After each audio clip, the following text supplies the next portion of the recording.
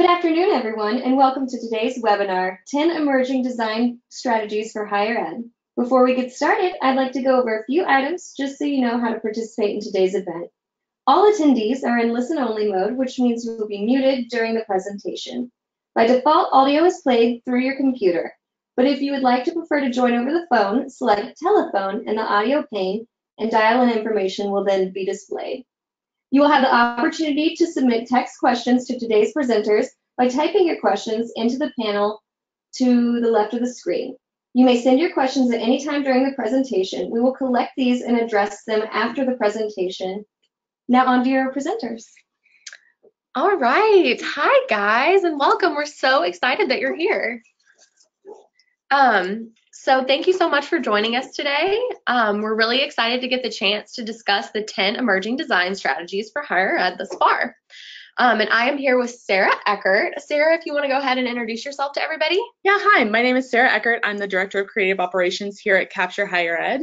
Um, I've been at Capture for close to six years now, um, with a total of 10 years in the higher education space. All right, and my name is Chelsea Grider. I am a senior graphic designer here at Capture Higher Ed, and I've been working here for about four years. And, um, you know, I've been working on designing all your marketing materials. Um, and yeah, so I guess we'll go ahead and get started. All right, um, so staying on top of the latest design trends is important for everybody, no matter your job title. So whether you're a designer or in enrollment, I feel like it's always important to stay on top of the latest design trends and stay relevant. Um, understanding how styles are changing and evolving will definitely help your brand stay fresh and resonate with your current students and future, future students as well. Knowing the latest trends can also help you stay ahead of the curve, try something new, and even find success in your marketing and enrollment strategies. All right, so today we're going to talk about a few different trends that we've seen. 2019 will definitely be an exciting year for design. Um, it seems like we say that every year, but there are just always so many cool new things out there, and we're super excited to go through them.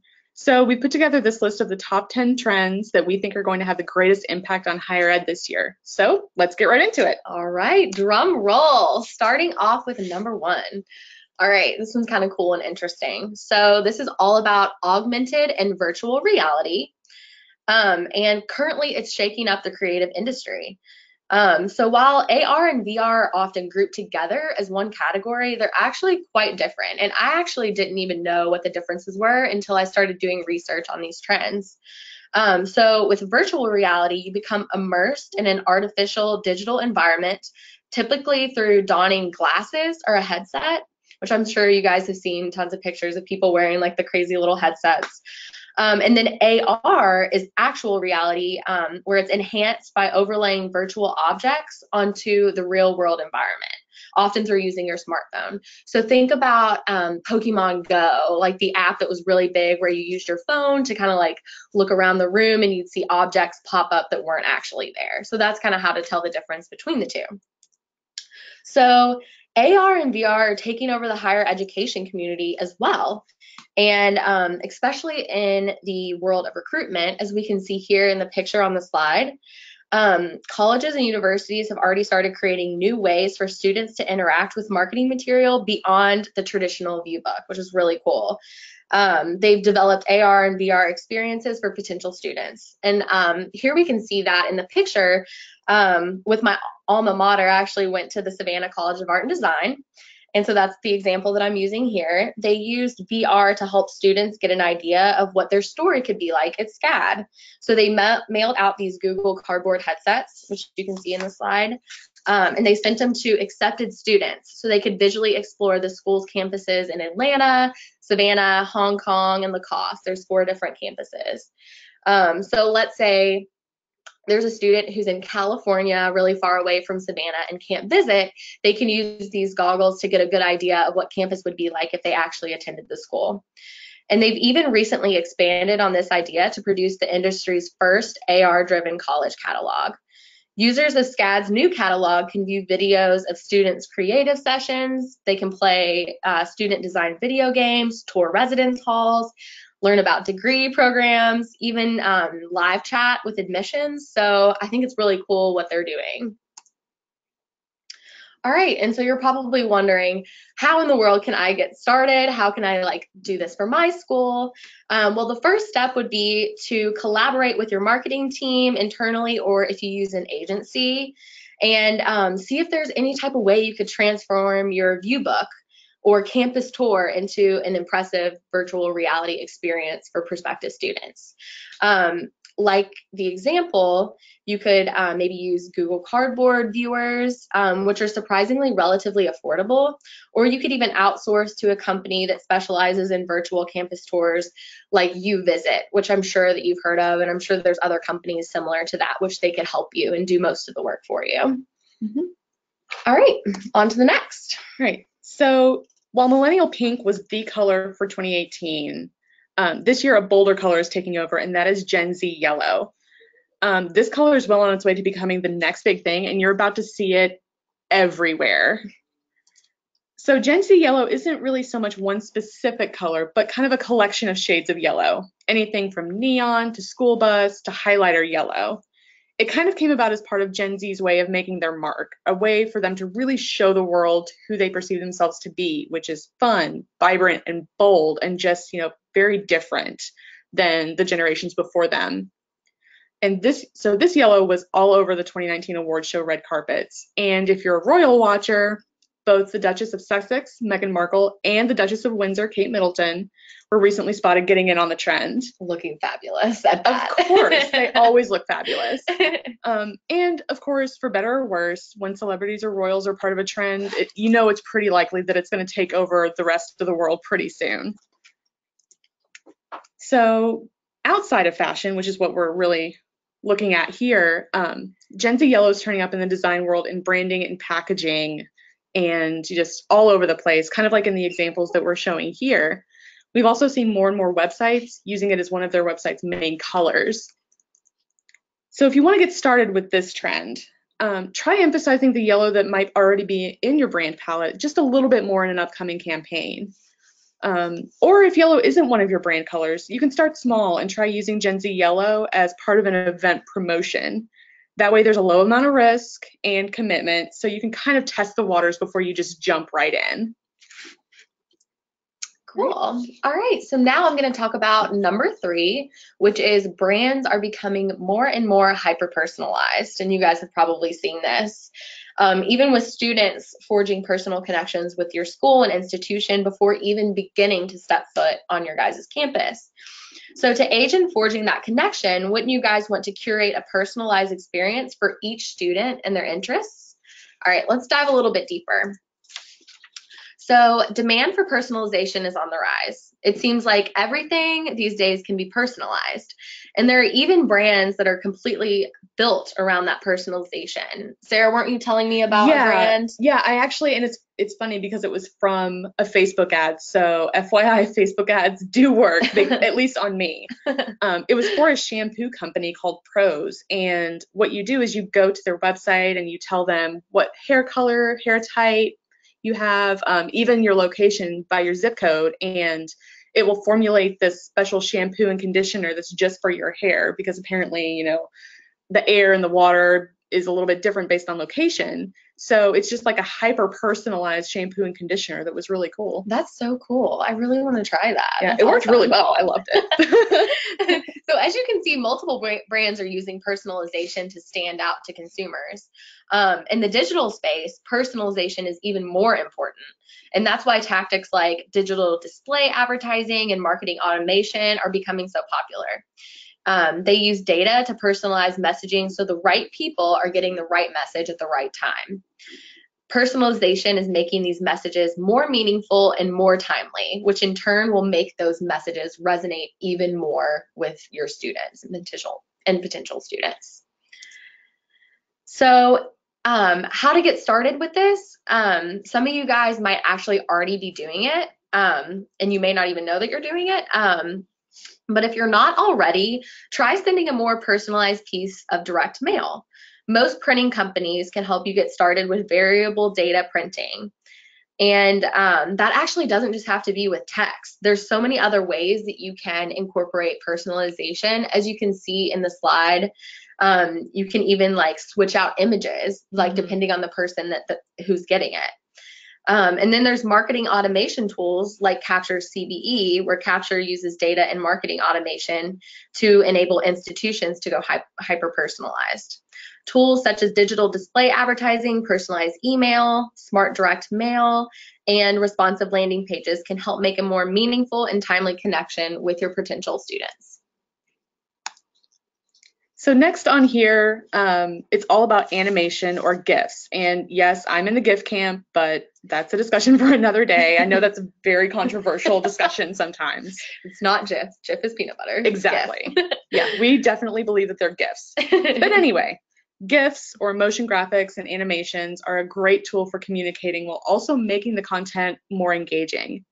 They're not really a new thing though. They've been a staple on Tumblr especially and other social media sites for quite a while now. But now they're really coming into their own in marketing communications. And with diminishing attention spans, having some movement in an otherwise static environment is a great way to capture attention. It's also really good to use when you need to try to show a bunch of information in a really small space. Um, I know there are some program names that are always very long, and so if you're trying to do a banner advertisement, trying to cram that whole thing into one small mobile banner ad can be really difficult. So this is also a good time to use animation. So to get started with this, um, this is actually another relatively easy one to really get started. So try using some kind of animation in your next email blast. You can use them to draw attention to a video by turning a short clip of that video into an animation, kind of like in this example that we did for Sweet Briar College. Um, I think they work the best for campus visit messages. Um, you know, a five second clip of a campus tour video on a popover or even in an email. It, it makes it a little bit more engaging than just a static photo. Um, and so these are just a couple of the ways that we've used animation here at Capture to enhance our communications. All right, so moving on to number five, we have responsive logos. Um, and I'm sure you guys have probably heard of responsive websites before. I'm sure your college and institution probably has a website that is responsive. Um, and that is actually, if you don't know what that is, that's actually where the site is able to shift to accommodate different screen sizes. So um, your website is going to look different, you know, on your computer screen, on your iPad, or on your phone.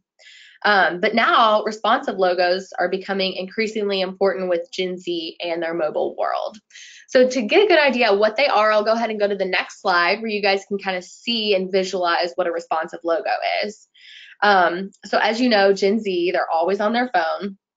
And so with the rapid growth of mobile device usage across variations of screen sizes, it's becoming less acceptable to create just one logo and scale it down um, with the changing screen sizes. Um, and you know, I know a lot of your institution logos are, you know, usually they feature like a building or something like that, which is great and awesome and beautiful. But whenever it's on a small, tiny mobile screen, you know, some of that can kind of get lost. Um, so logos are becoming more adaptive, um, containing several versions for mobile, tablet, and desktop devices and beyond. So as you can see in the example that I'm showing, um, Coke, Chanel, Disney, they're all moving towards responsive logos. Um, so as you can see, like the smallest logo is what would be on the mobile version. And you can still tell what it is, which makes it really cool. Yeah, I agree. Um, all right, so we can go ahead and go to the next slide and I can kind of tell you all how to get started with this. Um, so if your institution is ready to start creating a logo that will shine on all devices, what you need to get started is carefully examine your institution's logo and remove anything that's not necessary without losing the connection to your brand identity. So in summary, the aim of this process is to remove any intricate or ornate details that won't show up as well on smaller devices. And this is honestly a great exercise to do with any logo, even if the primary reason isn't to just create a responsive logo. When the words and extra pieces are removed, is what's left still recognizable? Yeah, that's a really cool thing to do with pretty much any logo because it helps, you know, you see the iconic logos like Nike or some of these others, Yeah. and they use just such a small piece of it. Yeah, Um, so it's- it's really cool. Simplicity, yeah. All right, so moving on to, okay, this is actually my personal favorite on this list gradients. I love gradients. Um, and as you can tell from our presentation design, we love gradients here at Capture Capture, just as much. too. Yeah. So this trend is even more about brightly colored gradients. Some of the most recent examples of this trend you've probably seen in action are Instagram's logo redesign, which we're showing here, which uses a really bright gradient in its primary version. And you've got Spotify over here with all of their bright colors and bright gradients that they use in just about all of their graphics. Um, playlist graphics, promos, pretty much everything has these really bright colors. So this is another sort of easy one that you can get started with. And if you want to incorporate Gen Z yellow, this is also a great way to do that too. Um, you can jump right in using one of these really bright gradients here or with that Gen Z yellow if you want to just go, you know, just go for it and see what happens. Or if you want to be a little bit more conservative, um, you can try something a little bit more subtle. So to be more subtle, take one of your brand colors and just transition that from the brand color to a slightly darker version of it. Um, and that way, you know, there's not as much commitment. It's not so off brand that it seems weird or anything. Um, and you can try it in your next social media post It's just a way to ease into it. All right, so moving on. Um, new to the world of fonts and typography is color fonts. And I actually hadn't even heard of this until I started doing research. It's super cool. Um, so I'm sure you um, have seen in most fonts, you know, Helvetica, Times New Roman, whenever you download the font and use it in whatever program you're using, you know, it's all in one color, you know, Mhm. black, you can choose whatever color it is. Um, but color fonts actually incorporate details such as different colors, gradients, and Gradients. textures. Yes, gradients again. we keep going back to I our know. trends. I love it. They're all interwoven. All right. Um, but yeah, so they incorporate colors, gradients, textures all into one single font file, which as a designer, I love. Sounds amazing. Um, so much easier. I know, so love much it. less work too. um, they can even include vector shapes and bitmap images all within one file, which is pretty cool. These fonts can not only be used in print, but they can also be used in various web browsers and apps as well. So as you can see in this slide, there's a few examples of color fonts that are being used today. Um, and actually, you and your design team can go out there and start downloading these fonts and using them for various projects. Um, free fonts, free color, blah, sorry, free color fonts that are out there are Bixa Color, Abalone, and Gilbert Font that are all displayed in this slide. All right, so how can you start using these? Um, like I said, um, they're free. Well, there's a few that are free to download, and you guys can start exploring ways to work them into your brand. And um, I would say for color fonts, maybe you know don't use them everywhere, um, but it'd probably be a good idea to maybe promote like specific events on campus for posters, anything fun like that.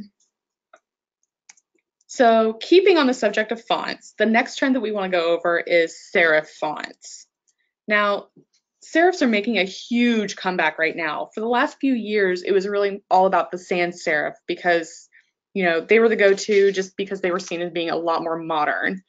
But that's starting to change. Serifs are coming back, and they're very reminiscent of the golden age of printing, when type was set, you know, letter by letter in a printing press. It was a very manual process, but there's still something nostalgic and kind of classy about that that people still remember.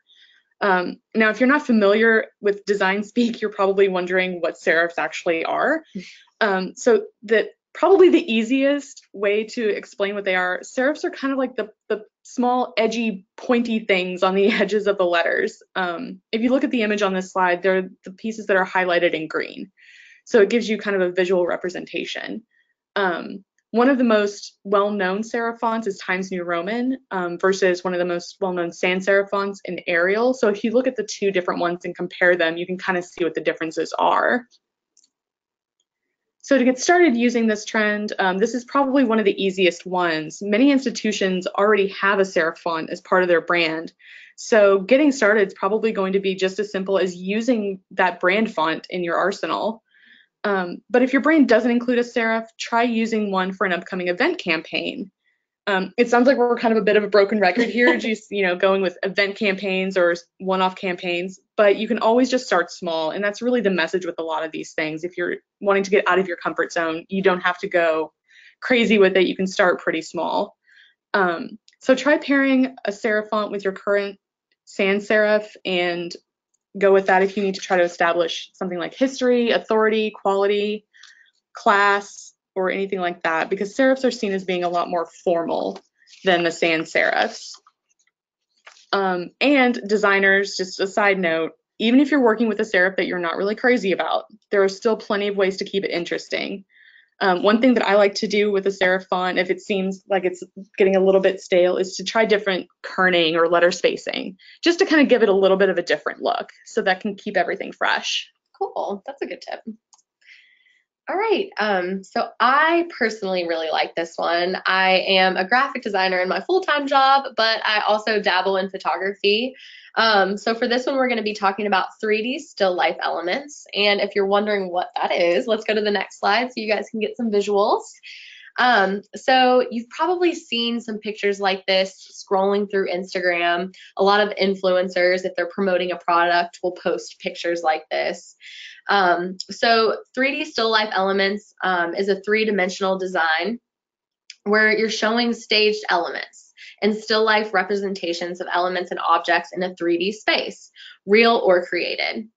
And this is a sharp contrast to the flat design trend that we've seen in years past. Um, so this technique is great for product placements or showing how something like might look or feel in real life. Um, these designs usually feature real and creative ob created objects. Um, all right, and we can go to the next slide. So how can you guys use this for your school? Try testing out a 3D still life photo in a fun Instagram post maybe by um, you know arranging your institution swag or fan gear in a fun way and posting it on Instagram or maybe like something cool and new that you're selling in the bookstore or something like that just to kind of make it more creative and for people to you know stop and look while they're scrolling through mm-hmm. Instagram. You can also find mock-up templates online for all kinds of projects. And I think Sara, you yeah. were telling me about a website. Yeah, I use in, one called Envato. Um, it's one that I've shown on this this slide right here, um, they have a lot of really good high quality professional mock-ups. If you're willing to spend, you know, 10 to 15, maybe up to $20 per mock-up for like a really high-end mock-up. But I mean, if you go on Google and just search for a mock-up, there are plenty of freebies out there too. Cool. That's so there's awesome. plenty of ways to get started with that one. Good to know. All right, and last but not least is the minimal navigation trend. So a couple years ago, mega menus were all the rage, but now the minimalist navigations are starting to trend. They're taking a cue from mobile websites and apps, which is where much of Gen Z is already hanging out already. Um, you've probably seen in um, your mobile apps and mobile websites this hamburger menu icon, which is the three lines that, you know, sometimes it has the word menu under it, kind of like in this example from Drew. Um, yes, it's called a hamburger. It's I a very strange thing, but I love it. Um, and so that's just very reminiscent of the mobile world that Gen Z is in right now. Um, and so this is essentially kind of the same thing here. Some institutions like Drew University, which is one of our partner institutions, have already adopted this minimal navigation for their main website. So how to get started, this is probably one of the more difficult ones to really get started, kind of like the augmented reality that we talked about at the beginning. Because um, it, it's not simply changing a color or changing a font, but it doesn't mean that it's not attainable. You can try decluttering your homepage by testing the minimal, minimal navigation button, contact your webmaster or IT department, and they might be able to help you find a way to do this with an A-B test. Um, you know, that way if it doesn't work or you're not happy with it, or you know you get people that are talking to you and asking questions because they don't understand it you can always switch back to your normal version of the homepage um, and always keep in mind too that you can stick with a larger footer if you want to keep some of those menu elements visible Awesome. All right. Well, thank you guys so much for attending. We really appreciate it, and we hope you enjoyed our trending emerging designs in higher ed. Yeah, so go out there and be creative. Mm-hmm. Well, thank you guys, uh, and thank you everyone for attending today's webinar. You'll receive a follow-up email within one or two days, and we'll link a viewed. nope. You will receive a follow-up email with one or two days. Jesus. Edit this out. Brandon. okay. Um, Well, thank you, ladies, and thank you everyone for attending today's webinar. Uh, you will all receive a follow-up email within 24 to 48 hours with a link to view a recording of today's webinar. We've also collected all of your questions throughout and will contact you shortly with responses. On behalf of Capture Higher Ed and our presenters, thank you for joining us today and have a great day.